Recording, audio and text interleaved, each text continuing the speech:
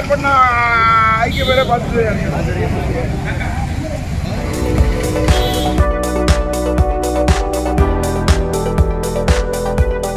வாழ்த்துக்கள். வீடுலாம் பார்ப்பாங்க படம் எடுக்கணும்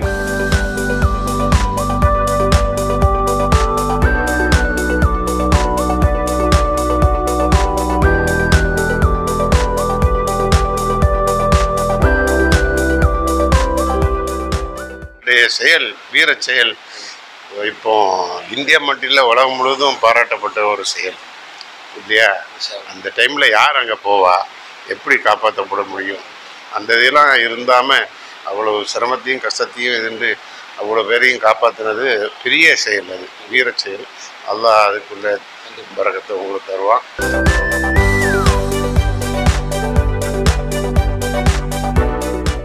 காயப்பட்டினம் வட்டத்தை சேர்ந்த நம்மர்கள் மீனவ சே- இளைஞர்கள் தன்னுடைய உயிரை துச்சமாக மதித்து இருநூத்தி ஐம்பத்தி மூணு மக்களை காப்பாற்றி தீ- நான் வாழ்த்துகிறேன்.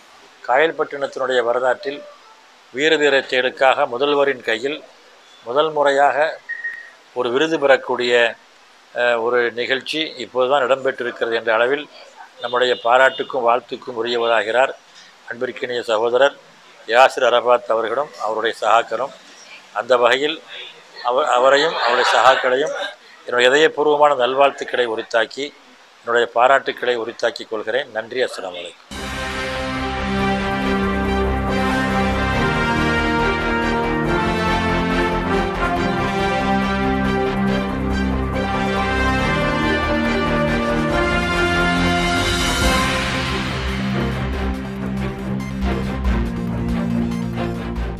அஸ்லாம் வலைக்கும் டிவியில் என் மகன் சென்னையில் அந்த அவார்டு வாங்கினதை பார்த்த உடனே நானே என் மனைவியும் ரொம்ப கண்கலங்கிட்டோம்.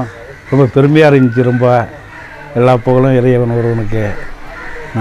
சின்ன வயசுல இருந்தே என் மகன் இந்த மாதிரி ஒரு விஷயங்களில் ஈடுபடுவான்.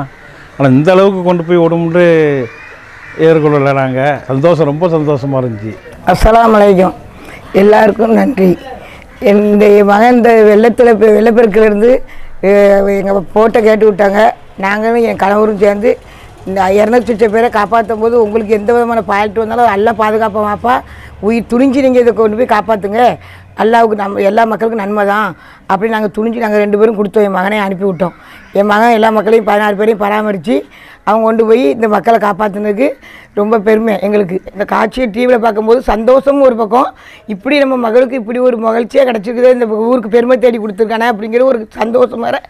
கண்ணீர் கலங்கிட்டு நாங்கள் கண் கலங்கிட்டு எங்கள் நானும் என் கணவர் என் மகனுக்கு இந்த பெருமை கிடையாது. காயில் போட்டின ஊருக்கே பெருமை. ஏன்னா அது போதும் எங்களுக்கு. அந்த புனிதமான இடத்துல என் மகனை நிற்க வச்சுருந்தாவோ இந்த விருது வாங்க வச்சது.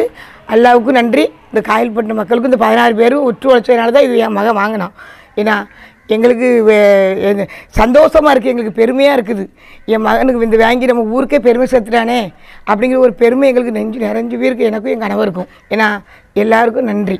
கடந்த டிசம்பர் பதினேழு பதினெட்டு பத்தொம்போது இந்த மூன்று நாட்களில் ஏற்பட்ட பெருமழை பேரிடரில் நம்ம ஊர் அதாவது காயல்பட்டத்துக்கு அருகே இருக்கக்கூடிய தண்ணீர் பந்தல் அப்படிங்கிற ஒரு கிராமத்தில் கிட்டத்தட்ட இருநூற்றி நாற்பத்தி மூணு உயிர்களை காப்பாற்றின ஒரு வீரதீர செயல். அது மட்டும் இல்லை டிசிடபிள்யூக்கு பக்கத்தில் ஒரு பனிரெண்டு பேரை காப்பாற்றி மொத்தத்தில் இருநூற்றி ஐம்பத்தி மூணு உயிர்களை வந்து காப்பாற்றிருக்கக்கூடிய ஒரு டீம். தூத்துக்குடி திருநெல்வேலி ராமநாதபுரம் கன்னியாகுமரி இந்த இடங்களிலிருந்து எத்தனையோ மீனவர்கள் வந்தாங்க. கிட்டத்தட்ட ஐநூறுக்கு மேற்பட்ட போட்டுகள் வந்து இந்த பேரிடர் மீட்பு பணியில் ஈடுபட்டிருந்தாங்க.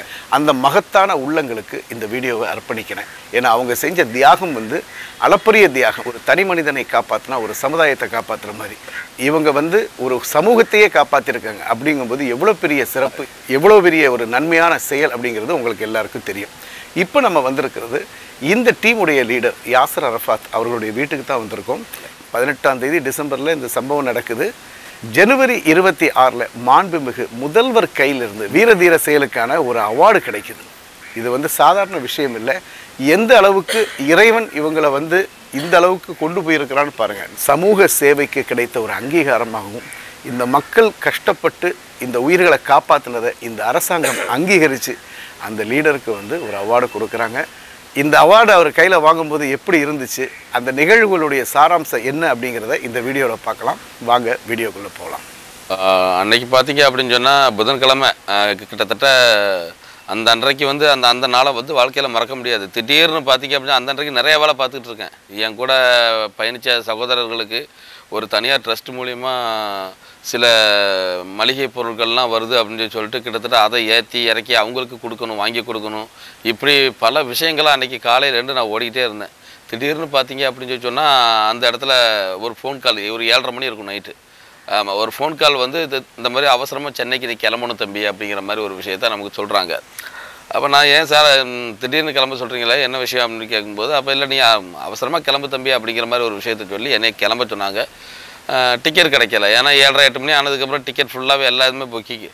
நம்ம என் கூட இன்னொரு ஆஃபீஸர் வேறு வர்றாப்புல. அப்போ அவங்களே நான் கூட்டிகிட்டு போகணும். ரெண்டு பேருக்கு சேர்த்து டிக்கெட் போடணும். அப்படி இப்படின்னு சொல்லி சொல்லிட்டு அலைஞ்சு தெரிஞ்சு ஒரு டிக்கெட்டை போட்டாச்சு. பேரே வந்திருக்கா இல்லையாங்கிறதே தெரியாது. நான் இது வரைக்கும் கன்ஃபார்ம் ஆகிடுக்காங்கிறத கேட்டால் கூட சொல்ல மாட்டிருக்காங்க. கூட யாரையும் கூட்டிகிட்டு வரலாமான்னு கேட்டால் சொல்ல மாட்டிருக்காங்க. அதெல்லாம் வேண்டாம். நீங்கள் தனியாக வாங்க. என் கூட என்னுடைய தாய் தோப்பனை கூட கூட்டு போக முடியாத ஒரு சூழ்நிலைகளில் தான் இருந்தது. அப்போ நான் அவங்கக்கிட்ட கேட்குறேன் இந்த மாதிரி வீட்டில் சொல்லிட்டு வந்துடுறேன் சார். சகோதரர்கிட்ட சொல்லிட்டு வந்துடுறேன் சார் அப்படிங்கிற மாதிரி ஒரு விஷயத்த கேட்கும்போது சொன்னாங்க. இல்லை நீங்கள் யார்கிட்டையும் எதுவும் ஷேர் பண்ணாதீங்க. மெசேஜ் மெனக்கிட்ட அனுப்பி வச்சுருக்காங்க. ஷேர் பண்ண வேண்டாம்னு சொல்லி. அதனால் யார்கிட்டையும் ஷேர் பண்ண வேண்டாம். போயிட்டு நல்லபடியாக ஃபங்க்ஷனை முடிச்சுட்டு வந்ததுக்கப்புறம் பண்ணிக்கலாம் அப்படிங்கிற மாதிரி ஒரு விஷயத்த சொல்லி என்னை வந்து கூப்பிட்டு போயிட்டாங்க. யாருக்கிட்டையுமே சொல்ல முடியாத ஒரு சூழ்நிலை. இதனால் சில பல வருத்தங்கள் எல்லாமே நிறையா இருந்திருக்கு. அதை நம்ம விளக்கமாக சொல்லவும் முடியாது. அல்லாஹ் ஒருவன் பார்த்துக்கிட்டு இருக்கான். ஒவ்வொரு மனிதனுடைய இகலாஸ் மண் உள்ள தூய்மை எப்படிங்கிறத இறைவன் பார்த்துக்கிட்டு தான் இருக்கான். அதனால் இதை வந்து நம்ம விளக்கமாக சொல்லி என்ன நியாயப்படுத்திக்க நான் விரும்பலை. போயிட்டேன். காலையில் போய் இறங்குறோம். சாதாரணமாக ஒரு சர்டிஃபிகேட் கொடுப்பாங்க. அப்படிங்கிற ஒரு எதிர்பார்ப்புகளோட தான் சரி இருந்தாலும் பரவாயில்லைன்னு சொல்லி சொல்லிட்டு போயாச்சு. ஆனால் அங்கே போய் பார்த்ததுக்கப்புறம் தான் தெரிஞ்சது அந்த எப்படி சொல்கிறது அந்த இது வரைக்கும் நான் அந்த அரசு விருந்தினர் மாளிகை ஆமாம் இது எதையுமே பார்த்தது கிடையாது. நம்ம வெளியில் ரோட்டில் நடந்து போகும்போது பார்த்துட்டு போயிருக்கோம். அந்த அன்றைக்கு வந்து எங்களை ரொம்ப அழகாக ட்ரீட் பண்ணாங்க. ஒரு நாளைக்கு முன்னாடி புதன்கிழமை நைட்டு கிளம்பி வியாழக்கிழமை காலையில் போய் இறங்குறோம். ஆமாம் எங்களை அவங்க வந்து ஒரு கெஸ்ட்டாக ரிசீவ் பண்ணி அதாவது என் கூட ஒரு ஆஃபீஸர் வந்திருக்காரு வேறு யாரும் வர முடியாது. ஏன்னா ஒரு ஆள் தான் போக முடியுங்கிற ஒரு சூழ்நிலை. கிட்டத்தட்ட ஆயிரத்தி அறநூறு பேர் இதில் வேலை பார்த்தாங்க. அதில் வந்து எனக்கு அந்த பாக்கியத்தை ஆண்டவன் தந்திருக்கான். எல்லா புகழும் இறைவனுக்கே. ஏன்னு கேட்டால் எல்லாத்துக்கும் இந்த மாதிரியான ஒரு பாக்கியம் அமையாது. அது அதனால் அந்த ஒரு பாக்கியத்தை கொடுத்தா போனோம் நல்லா ரிசீவ் பண்ணாங்க. அடுத்த நாள் ரிகர்சல் மாதிரி வச்சாங்க. அந்த ரிகர்சலில் வந்து முதலமைச்சர் கிட்டத்தில் வந்து எப்படி நிற்கணும் அவங்கக்கிட்ட எப்படி வாங்கணும் எல்லா டீட்டெயில்ஸுமே சொல்லிக் கொடுத்தாங்க. இந்த மாதிரி தான் நிற்கணும் குரூப் ஃபோட்டோக்கு இப்படி வந்து நிற்கணும் அப்படின்னு சொல்லி எல்லாம் சொல்லிக் கொடுத்தாங்க. அந்த விருந்தினர் மாளிகையில் பார்த்தீங்க அப்படின்னு சொன்னால் சிறுவைகுண்டம் தாசில்தார் அவங்க இருந்தாங்க. அவங்க வந்து ரொம்ப எப்படி சொல்கிறது ஒரு ரொம்ப க்ளோஸாக பேசினாங்க. திருநெல்வேலி மாவட்டத்தை சேர்ந்த ஒரு தம்பி வந்திருந்தாப்புல டெல்வின்னு சொல்லிட்டு. அப்புறம் இன்னொருத்தர் வந்து கோட்டை அமீர் அந்த விருதுக்கான இதில் இருந்தக்கூடிய ஒரு நபர் வந்திருந்தாப்புல. எல்லாருமே நல்லா பேசுனாங்க. சில பேர் இங்கிலீஷில் பேசுனாங்க. நம்ம சில பேர் தமிழ்லேயே பேசுனாங்க. எல்லாருக்கிட்டையுமே நல்லா ஓரளவுக்கு சகஜமாக பேசக்கூடிய ஒரு வாய்ப்பு கிடைச்சிது. ஒரு அம்மா வந்து பள்ளிக்கூடத்துக்கு தன்னுடைய சொத்துக்களை தானம் கொடுத்ததுனால அவங்களுக்கும் விருது கொடுத்துருந்தாங்க. இப்படி பல பேரை சந்தித்தேன் ஆமாம் அது அதெல்லாம் பார்க்கும்போது ரொம்ப நெகிழ்ச்சியாக இருந்தது. விருது வாங்குற அன்றைக்கு காலையிலே பார்த்தீங்க அப்படின்னு சொன்னால் ஒரு அஞ்சு மணிக்கெல்லாம் எலும்ப சொல்லிட்டாங்க. ஏன்னா அஞ்சு மணிக்கு எலும்பி குளிச்சு குளிச்சு ரெடி ஆகி ஒரு சிக்ஸ் ஓ கிளாக்கெல்லாம் நாங்கள் வந்து அந்த பில்டிங்லேருந்து வெளியே வந்துடணும். எங்களை வந்து காரில் கூட்டு போகிறதுக்கு ரெடி ஆகிட்டாங்க அது மாதிரி எல்லாமே வெளியே வந்து சிக்ஸ் ஓ கிளாக் எங்கள் எங்களை அப்புறம் வந்து அங்கே லோக்கலில் இருந்த அந்த மற்ற மக்கள் ஆஃபீஸர்களோட ஃபேமிலிலாம் வந்திருந்தாங்க. அவங்க எல்லாமே கூட்டிகிட்டு அவங்க வந்து கரெக்டாக ஒரு ஆறு மணிக்கெல்லாம் வெளியில் கூப்பிட்டு போயிட்டாங்க. அங்கே நாங்கள் ஒரு சிக்ஸ் பாயிண்ட் ஃபைவ் ஒரு ஆறரை மணிக்கெல்லாம் போய் ஸ்பாட்டுக்கு போய் எங்களோட இருக்கையில் நாங்கள் அமர்ந்துட்டோம். அதுக்கப்புறமா நிறைய நம்ம கலாச்சார முறைப்படி என்னெல்லாம் நடக்கணுமோ எல்லாமே நடந்தது. அதெல்லாம் பார்த்துட்டு சந்தோஷமாக இது வரைக்கும் நான் குடியரசு தின விழாவில் வந்து நேரில் நின்று எதையுமே பார்த்ததில்ல. அந்த இடத்துல இதெல்லாம் பார்க்கும்போது ஒரு வித்தியாசமான ஒரு அனுபவமாக இருந்தது. கிட்டத்தட்ட நான் வந்து ஃபோர்த் பிளேஸில் இருந்தேன்.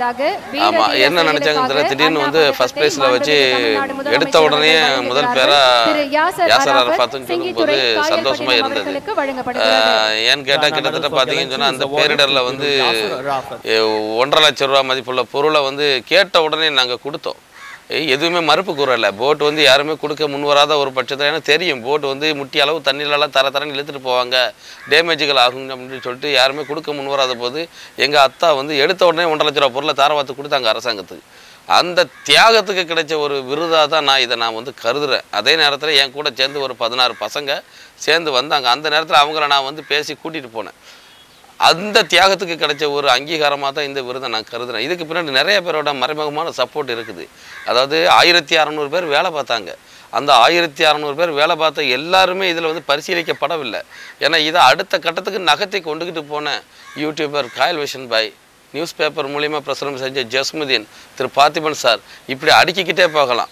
ஒரு காக்கா மனு மட்டும் போட்டு எங்களுக்காக பரிசீலனை பண்ணியிருக்காரு. அவர் தன்னுடைய சொந்த காசை முன் இப்படி பல பேரோட தியாகங்கள் இருக்குது இதில் காப்பாற்றின இந்த பதினாறு பேர் மட்டும்தான் இதில் அடங்குவாங்க அப்படிங்கிற மாதிரி இல்லாமல் ஏ ஆயிரத்தி அறநூறு பேர் செஞ்சிட்டாங்க. அதில் பர்டிகுலராக இந்த விஷயத்தை எடுத்து கொண்டு போனதை நம்ம மெயினாக பார்க்கணும். ஏன்னா எடுத்து வெளி உலகத்துக்கு சொல்லி இதை தான் நிறையா சகோதரர்கள் கேட்குறாங்க இந்த விருது வந்து முழுக்க முழுக்க நான் ஆயிரத்தி அறநூறு பேர் மூணு மாவட்டத்தில் வேலை பார்த்தாங்க. எல்லாருமே உயிரை கொடுத்து தான் வேலை செஞ்சாங்க காப்பாற்றினாங்க ஆனால் அந்த இடத்துல எனக்கு ஆண்டவன் நாடி இருக்கும். இந்த ப இந்த யாசராபாத்துங்கிற பேர் யாசராபாத் தீம்ங்கிற ஒரு விஷயத்தை வந்து அதில் பதிவு பண்ணணும் அப்படிங்கிறதுக்காக நாடி இருக்கான் அது நடந்திருக்கு அலமதுல்லா இந்த இடத்துல எனக்கு தந்த விருதில் பார்த்தீங்க அப்படின்னு சொன்னால் ஒரு தங்க முலாம் பூசப்பட்ட மெடல் ஒன்று இருந்தது. அதுக்கப்புறம் பார்த்தீங்கன்னு சொன்னால் ஒரு சர்டிஃபிகேட் யாச அது அந்த இதில் இங்கிலீஷில் ஃபுல்லாக டைப் பண்ணியிருந்தாங்க. ஆமாம் அதில் எங்கள் ஊர் பேர்லாம் வரும்போது ஒரு சந்தோஷமாக இருந்துச்சு. இது வந்து ஊருக்கு கிடைச்ச மிகப்பெரிய ஒரு பெருமை. அதை நினச்சி ரொம்ப சந்தோஷப்படுறேன். என்கிட்ட ஊருக்காக கிடைச்ச பெருமை தான் இது. அதுக்கப்புறம் பார்த்தீங்க அப்படின்னு சொன்னால் ஒரு ஒரு லட்சம் ரூபாய் காசோலை இருந்தது. இந்த காசோலை இருக்கும்போது நான் முடிவு பண்ணேன் சரி நம்ம பசங்களுக்கு நம்ம இதில் வந்து ஒரு பாதி இதை கொடுத்துட்டு ஒரு மீதி தொகையை நாம் வந்து ஒரு இந்த அனாதாசிரமங்கள் இந்த மாதிரி இதுக்கு அவங்க பேரை சொல்லி அவங்கள கூட்டிகிட்டு போய் நம்ம ஏதாவது ஒரு நல்ல காரியத்தில் ஈடுபடுவோம் அப்படிங்கிற மாதிரி ஆசைகள்லாம் நிறையா இருந்தது. ரொம்ப அடித்தட்டு பள்ளிக்கூடம். வசதிகள் குறைவாக உள்ள பள்ளிக்கூடத்துக்கு அரசாங்க பள்ளிக்கூடத்துக்கு ஏதாவது பீரோல் வாங்கி கொடுக்கணும் அனாத ஆசிரமங்களுக்கு அவங்க பேரை சொல்லி ஏதாவது பண்ணணும் அப்படிங்கிற மாதிரி ஆசைகள்லாம் நிறைய இருந்தது. சரி எதுக்காக நம்ம இவ்வளோ தூரத்துக்கு ஒரு பகட்டுக்காக நாம் கொண்டு போய் ஏன் வந்து இது பண்ணணும்? நம்ம கூட பணியாற்றின பசங்களே வந்து தேவைகள் நிறையா உடையவர்களாக தான் இருக்கிறாங்க. நம்ம அவங்க அவங்களும் வந்து பார்த்திங்கன்னா அவங்க கையில் நம்ம கொடுத்துருவோம். அவங்க வந்து அதை கொண்டு அவங்களுடைய தேவைகளை பூர்த்தி செய்தாலும் சரி நம்ம ஏழை எளிய மக்களுக்கு உதவினாலும் சரி அது அவர்களுடைய புண்ணியம். அவங்க கையாலே செய்யும்போது அதுக்கான நன்மையும் புண்ணியமும் அவங்களுக்கே கிடைச்சிரும்னு சொல்லிட்டு தான் அவங்களுக்கு இந்த தொகையை சரிசமமாக பிரித்து கொடுக்கணும் அப்படிங்கிற மாதிரியான ஒரு எண்ணத்தில் எண்ணி மனதை மனசில் வச்சுட்டு இருக்கேன் இன்ஷா இந்த அரசாங்கம் வழங்கிய விருது தொகையை வந்து பகிர்ந்தளிக்கணும் அப்படிங்கிற ஒரு முடிவில் யாசர் அரஃபத் வர்றார். அதனால் இந்த தொகையை வந்து வீடு தட்டி சும்மா பிரித்து கொடுத்தா நல்லா இருக்காது. ஊர் பெரியவர்கள் எல்லாம் அழைச்சி ஒரு ஃபங்க்ஷன் மாதிரி வச்சு இந்த தொகையை வந்து அவங்க கைனால் கொடுப்போம் அப்படிங்கிற ஒரு ஏற்பாடு ஒன்று பண்ணுவோம் அப்படின்னு சொன்னேன். அதுக்கு அவர் முதல்ல சம்மதிக்கலை. இதெல்லாம் தேவையா காக்கா அப்படின்னாரு. இல்லை தேவை. இது வந்து ஒரு பதிவு ஒரு ரெக்கார்டு நீங்கள் வீடை தட்டி ஒவ்வொரு பசங்களுக்கும் கொண்டு போய் காசை கொடுக்கறத விட இவர்கள் முன்னிலையில் வச்சு கொடுத்தா அவங்களுக்கு ஒரு மதிப்பாக இருக்கும் ஒரு அங்கீகாரமாக இருக்கும். காலாகாலத்துக்கு ஒரு பதிவாகவும் இருக்கும். நண்பர்களுக்கு பகிர்ந்தளிக்கிறதுக்காக வேண்டி ஒரு நிகழ்ச்சியை நாங்களாக ஏற்பாடு பண்ணோம். அதுவும் ஒரு நாளைக்கு முன்னால் தான் ஏற்பாடு பண்ணோம்.